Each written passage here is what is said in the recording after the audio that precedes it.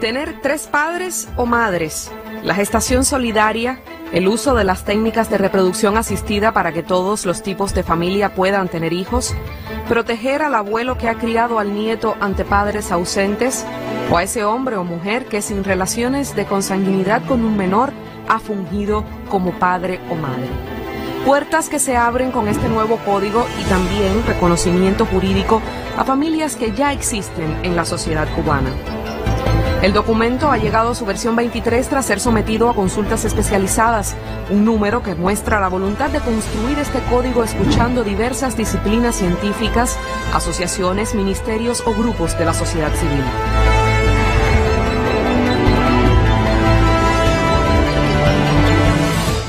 Para entender mejor qué significa este proyecto y por qué debe importarnos a todos, conversamos con una de sus redactoras, la profesora Ana María Álvarez Tavío, que antes de enseñar aquí en la Facultad de Derecho, fue jueza impartiendo justicia en temas de familia durante 20 años. La doctora Ana María afirma que es un código que intenta resolver el hecho de que el derecho suele estar a la saga de la sociedad y esta propuesta intenta no solo ponerse al día, sino prever realidades que puedan ir surgiendo en la familia cubana. Los expertos miembros de la comisión afirman que este documento transforma el régimen de filiación. ¿Cómo se puede definir hoy en Cuba una familia? La profesora explica que esta propuesta jurídica amplía el concepto más allá de los lazos consanguíneos y trasciende el estrecho marco de la familia nuclear. El régimen de filiación se transforma radicalmente porque a esa filiación consanguínea que tiene su importancia y que nadie puede desconocer, se le unen dos nuevas fuentes, la que viene de la mano del uso de una técnica de reproducción humana asistida, y es importante porque ya no es solo los problemas de fertilidad que la modernidad nos, nos está dejando, sino también para convertir en madres y padres a personas que naturalmente no pudieran serlo. Dos personas, dos hombres unidos, no pueden tener hijos si no es o por vía de la adopción o por vía de una técnica de reproducción humana asistida. Y por esta vía pueden estar vinculados genéticamente con sus hijos, que es además un anhelo perfectamente entendible en todas las personas. Y una cuarta fuente de filiación que viene por vía de la socioafectividad. Es decir, esas personas, que además en Cuba eso no es algo nuevo completamente, estamos cansados de oír hablar de las madres y los padres de crianza, de los hermanos de crianza, de los abuelos de crianza, son esas personas tan unidas afectivamente a nosotros que han cumplido funciones parentales propias de las madres y los padres que tampoco tenían un reconocimiento. El proyecto ha causado ya acalorados disensos. Este lector de Cuba Debate comenta en un artículo sobre el proyecto por qué se insiste en poner algo en una ley que ya una vez se discutió con el pueblo y la gran mayoría no estuvo de acuerdo con el matrimonio igualitario, refiriéndose al artículo 68 de la Constitución que fue modificado y sobre el que opinaron a favor y en contra alrededor de 170 mil personas de 8 millones que participaron en la consulta popular sobre la Constitución. Otro forista afirma que se están imponiendo leyes que sobrepasan a una institución ancestral que trasciende a la cultura, la política, la etnia. Más abajo agrega, educo a mi hijo según los principios adecuados, lo oriento sexualmente según mi definición.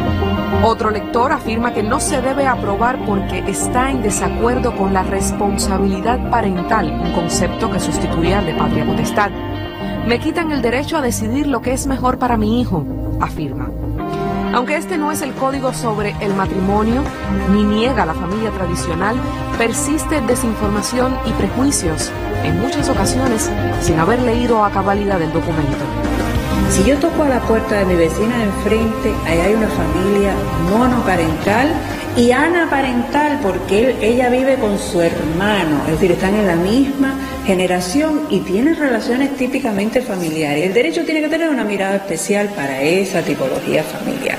Si voy a la puerta de al lado, pues hay una familia homoafectiva que ha tenido que estar siempre al margen, en el limbo jurídico, y llevan 30 años unidos, y para mí es lo más natural del mundo verlos. ¿Cómo no les voy a permitir que si se quieren casar, es su deseo, lo hagan. ¿Cómo no les voy a permitir que puedan reconocer efectos jurídicos de esa relación? Vas a otra, tocas a la puerta de la otra familia y hay una abuelita encargándose de sus nietos porque su madre murió y su padre se desentendió o su padre y su madre están por tiempo la migración ha impactado durísimo en la familia. Tengo al lado otra que se ha reconstituido una, dos, tres veces, porque no, somos muy dados a la divorcialidad, a la separación, y entonces se vuelven a unir. Y ese hombre ha vuelto a traer eh, hijos pequeños propios porque es padre soltero. Hay una diversidad tan enorme de familias, hay una viejita viviendo sola. Entonces, ¿de qué estamos hablando? Estamos hablando de la familia cubana, estamos hablando de Cuba y de que todos tenemos derecho. Y si votamos en el año 19 por una constitución diciendo que todos somos iguales, más del 85%, alrededor del 87 y tanto por ciento, dijo sí a la constitución, ahora resulta que tú eres menos igual que yo porque tienes una orientación sexual distinta o porque eres madre soltera porque por lo que sea, no, no, todos somos iguales, tan iguales como nada, no se es más o menos igual, se es completamente igual. Las consultas especializadas con diferentes colectivos laborales y científicos finalizaron y ya es proyecto de ley que será presentado ante la Asamblea Nacional y después de su aprobación en las sesiones del Parlamento en diciembre, el proyecto se someterá a consulta popular.